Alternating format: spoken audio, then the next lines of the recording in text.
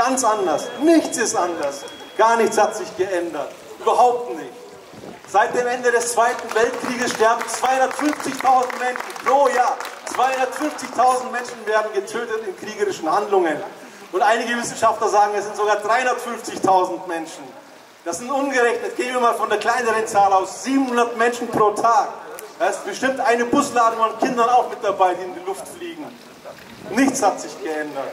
Aber ja, doch, sie wollen uns weismachen, es ist jetzt anders. Es ist anders. Wir müssen jetzt Flagge zeigen. Auf jeden Fall.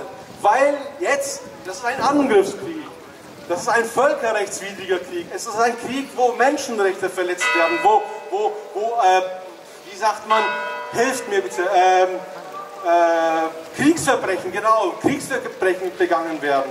Wow, okay. Ähm, als würde es einem 18-jährigen Soldaten, der gestern noch in der Schule stand und die Schulbank gedrückt hatte, als würde es ihm als Kanonenfutter auf einem Angriffskrieg anders ergehen als in einem Verteidigungskrieg, als würde die Todesangst eine andere sein, als würden die Seelen von den Kindern, äh, das Seelenleben in einem völkerrechtswidrigen Krieg anders sein, als würden die anders leiden als in einem völkerrechtskonformen Krieg. Als wäre es da ein Unterschied.